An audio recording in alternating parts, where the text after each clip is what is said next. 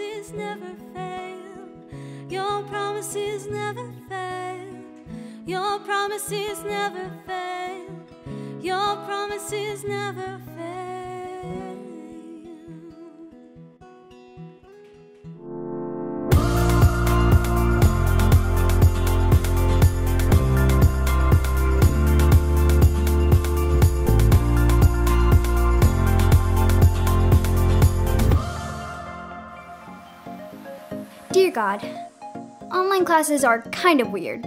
For me, for my friends, and even for the teachers. When we decided that I would be taking the virtual geography class, Mom got me a new laptop and a cool desk for my room. With online classes, you have to do a lot more on your own. And we figured out you couldn't really talk to people the same. It was all a big change.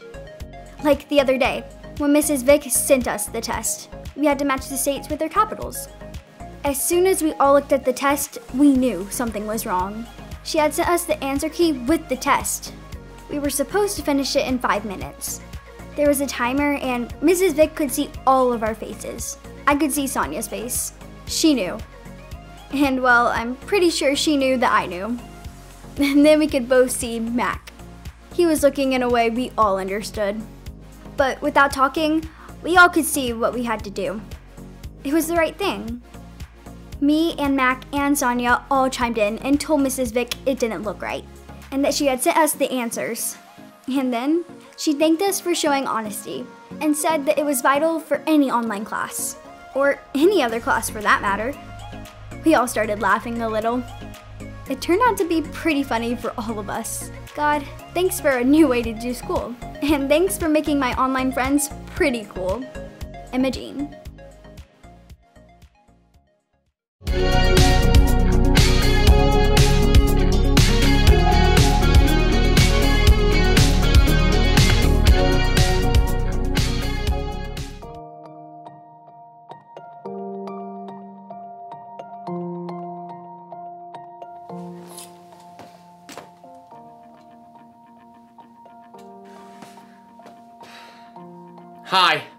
I'm Graham, and today we're talking about integrity.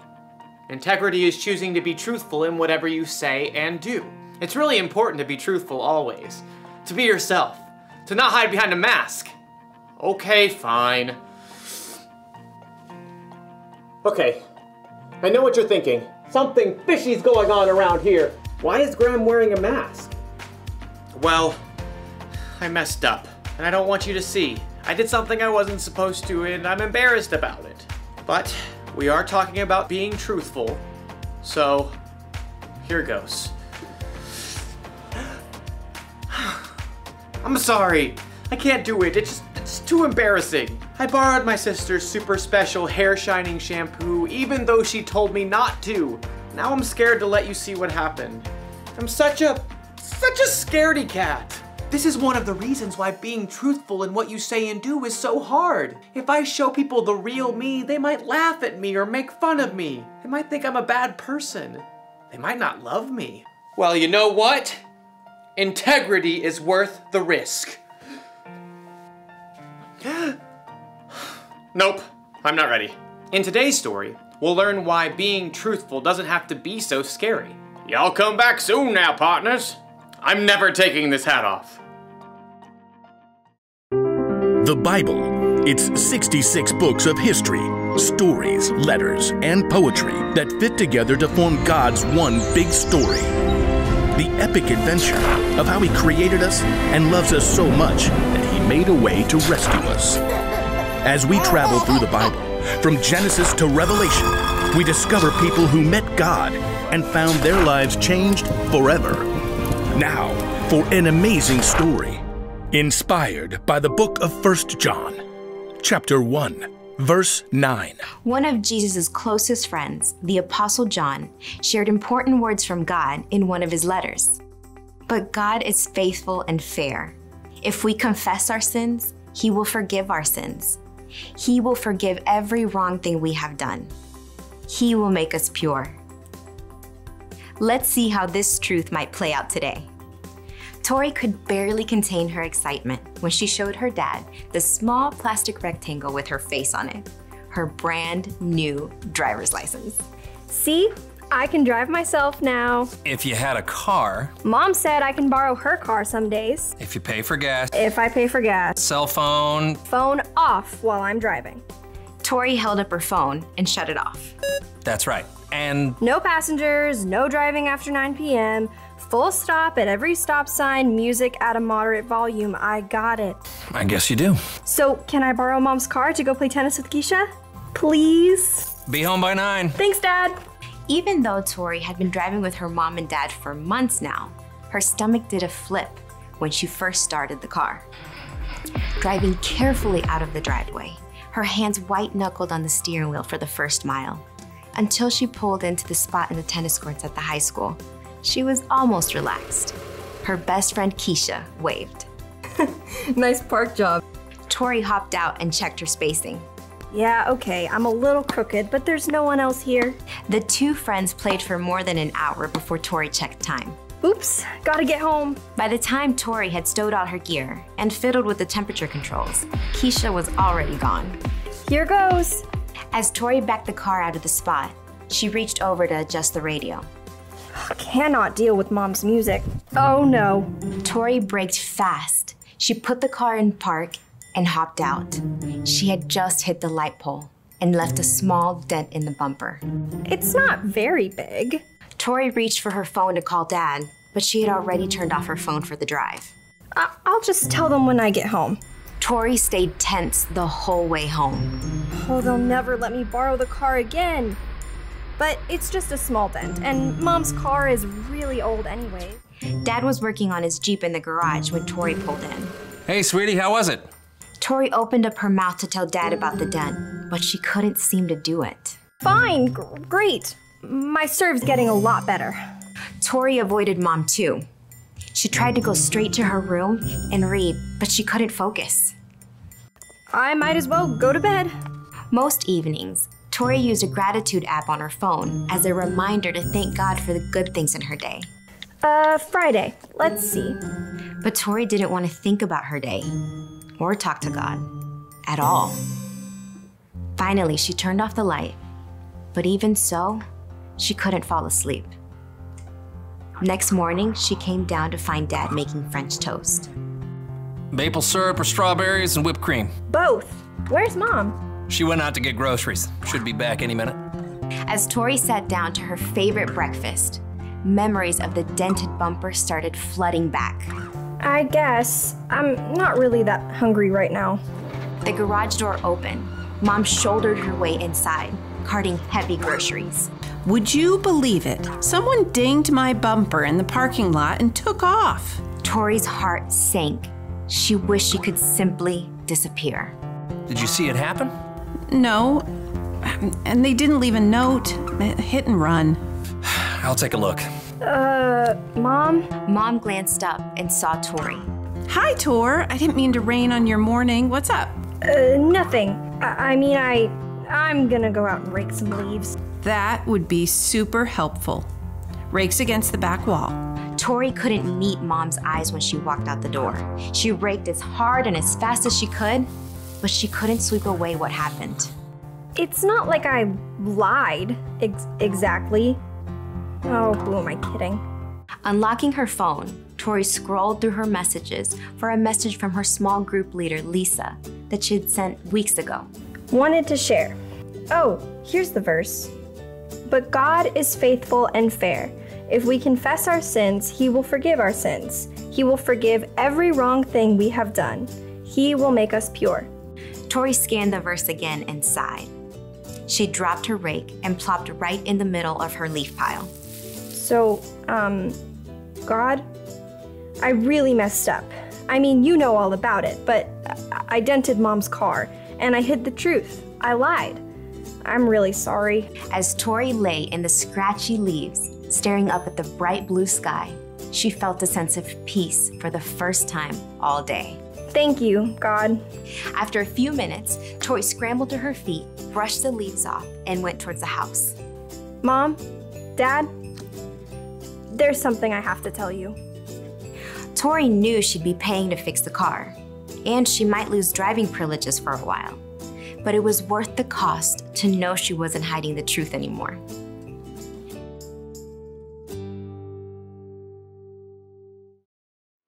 A long time after Jesus died and came back to life, one of his disciples named John wrote this God is faithful and fair.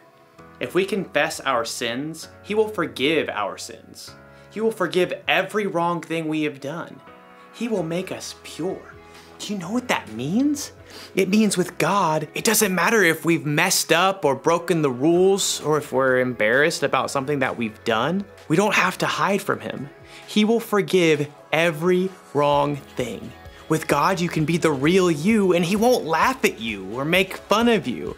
He won't think you're a bad person, and most importantly, God will always love you. Yeehaw! Jesus died on the cross to take the punishment for all the wrong things you've done and all the wrong things you'll ever do. That's why when you're truthful with God, you don't have to be scared.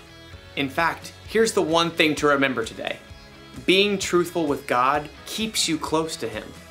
So when you mess up, don't hide it. Talk to God about it. Tell Him how you really feel. It should feel good to get all these things off your chest. Like, maybe it will feel good for me to show you what it looks like when you don't listen to your sister and when you don't follow the instructions on a super special hair shining shampoo bottle. No, no, no way. I'll talk to God about it. See you next time. Lather, rinse, repeat. Lather, rinse, repeat. Why didn't I repeat, God? Why didn't I? Oh, oh, you saw nothing.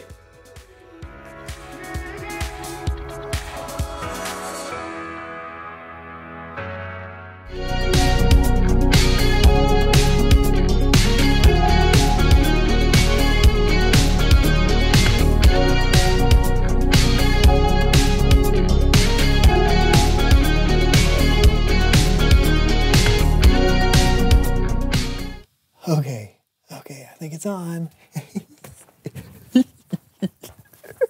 oh.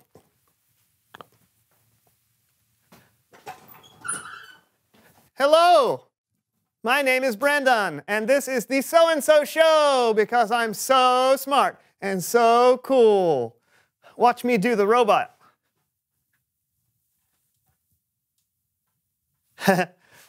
oh. Thank you. But seriously, I can't do the show without John. He's the best co host I could ask for.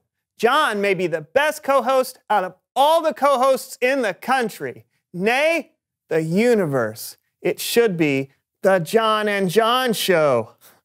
You should definitely tell John how awesome he is next time you see him, maybe in a tweet or a positively worded social media post. Hashtag John is the grooviest. John? What are you doing? Nothing. Are you wearing the mask of me again? What mask? Hand it over. Come on, just a little more fun. No, it's confusing. Hand it over. Fine.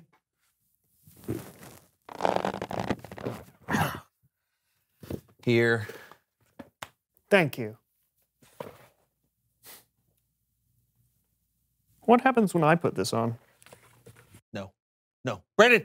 Oh, don't! How do I look? Uh...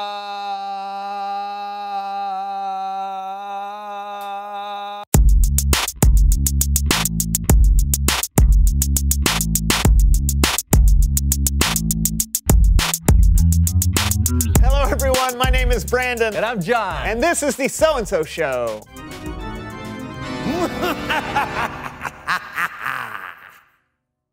what was that? Ah, don't worry about it. It's this.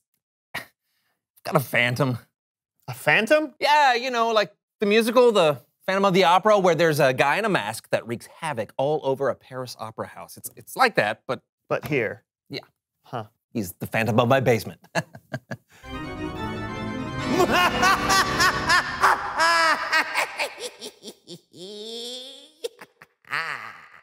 it's really annoying. Why is he here? Please don't ask that. Oh, you will know, John. You will know very soon why I am here. I, I hired an exterminator, but but um but Okay, okay, we get it. Should we um, invite him on? You know, maybe as a, someone who knows. No, don't encourage him. He'll just try to take over. You can't stop me from taking over, John!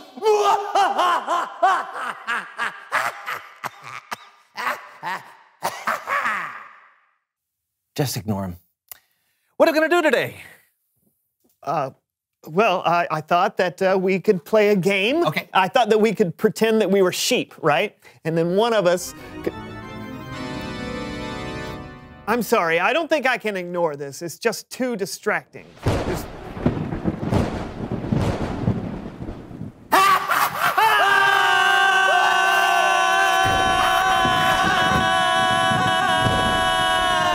John, you've got to do something about that. It's actually not that bad once you get used to it. Hello, fellas. Oh, hello, Silvio. Uh, how are things today? Oh, just fine, thank you. How are things with you? Oh, same old, same old. Just trying to keep things clean. Wouldn't want things to get messy. yeah, wouldn't want that. Uh, Oh, well, I guess I'll be leaving now mm, to do my job. Nothing mysterious. okay, see you, Silvio. that guy. Who is that, John? That's Silvio. That's my basement's custodian. Oh, really? I didn't know your basement had a custodian. But you don't think this place keeps its shining glory all by itself, do you? He's clearly the Phantom, though, right? What? No, no. The, the No. Phantom wears a mask. All right. Silvio doesn't wear a mask. Yeah, but has he been here as long as the Phantom has? Yes. Does he say creepy things and stare off into the distance all the time? Yes, of course. But all custodians do look. that. Here's a picture of Silvio. Right? And now.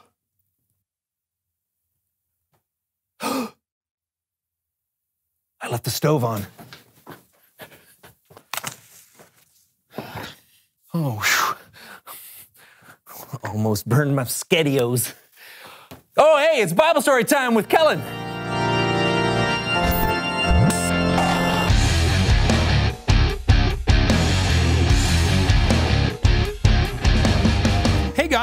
Hey, Kellen. Hey, Kellen.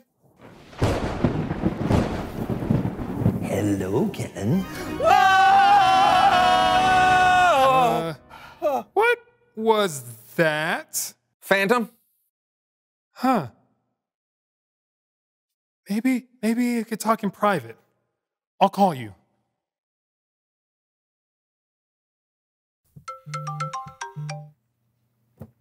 Will this work? Sure. Why not? I just want to make one adjustment. Whoa, Kellen, what happened? You look shiny. Well, that's a filter. Those are the buttons at the bottom of the screen. People use them for social media all the time.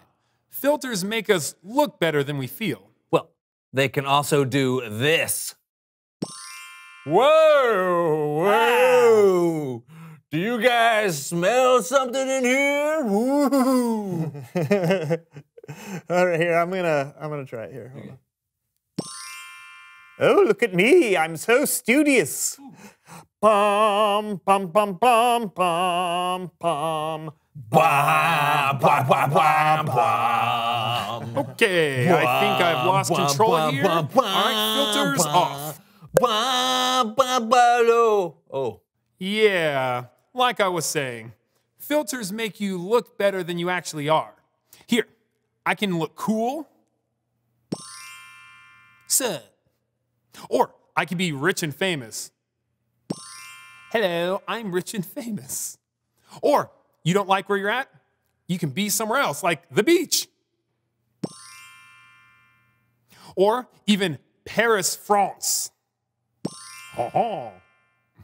Or even outer space. Ooh, I'm in outer space. You can be anywhere you want, and you can be anyone you want. With filters, no one has to know if you're sad or angry or embarrassed or awkward.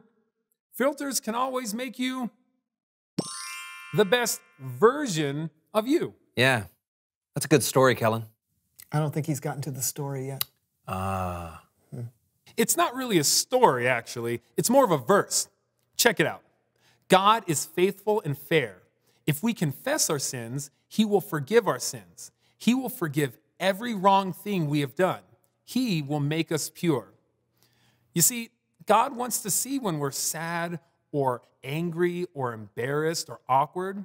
And He wants us to tell Him when we've broken the rules or made a choice we don't feel good about.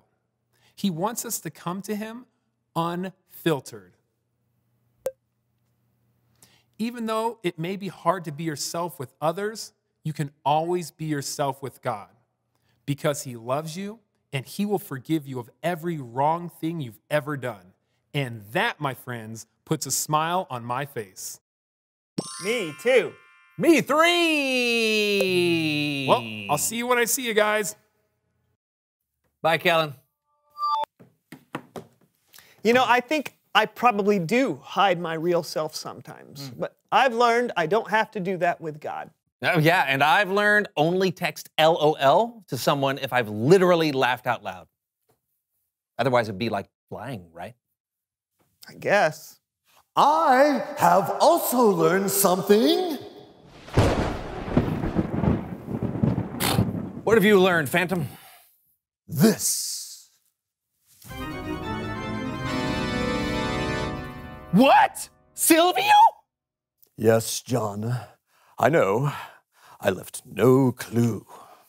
What an unexpected reveal. Ah, yes. Reveal the question.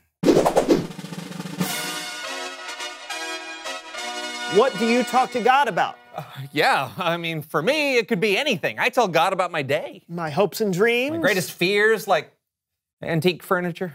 And now I must leave you. Wait! Are you still gonna clean here? Oh, consider this my two weeks' notice. Is that the only way he can leave a room? What do you talk to God about? Talk about it with each other. Or just talk about it with God? Oh, even better. And we'll see you next time on The So and So Show. Bye. う わ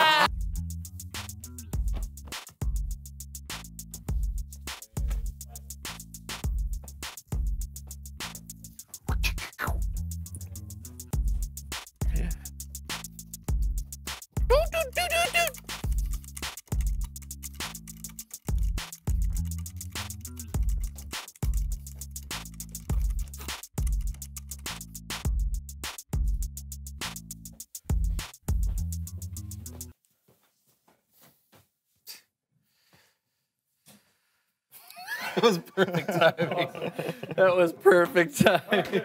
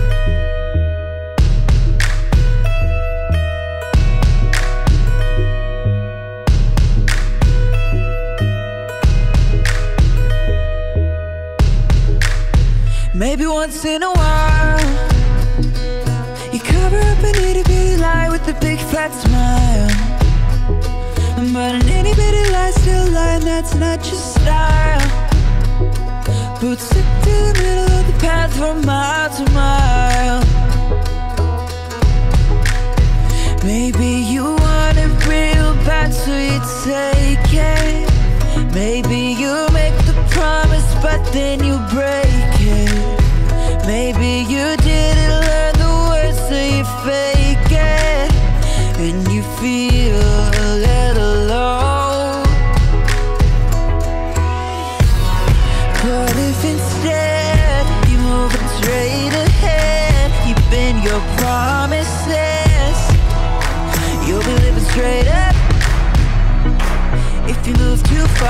side Then you're gonna get stuck It might feel like a little lie, but it's gonna catch up. Do what you say you're gonna do, you'll be on your way up. Said you're on your way up. You'll be living straight up.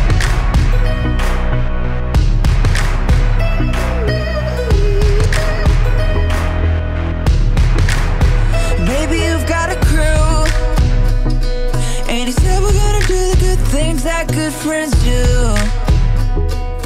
And everybody's still a good friend who sticks like glue. Cause everybody did what they said and everybody was true. Maybe you wanted it, but you didn't take it. Maybe you promised and then you didn't break it. Maybe you learned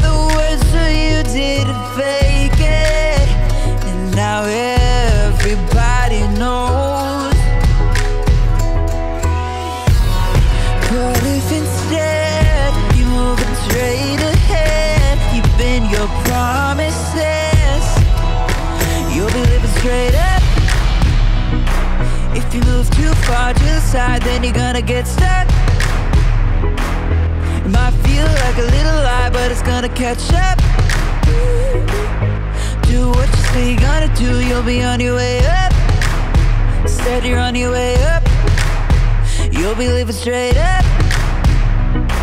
If you move too far to the side, then you're gonna get stuck. It might feel like a little lie, but it's gonna catch up. Do what you say you're gonna do, you'll be on your way up. Said you're on your way up. You can choose to be true, not just to everybody else, but true to you. You can choose to be true, not just to everybody else, but true to you. True to you. You.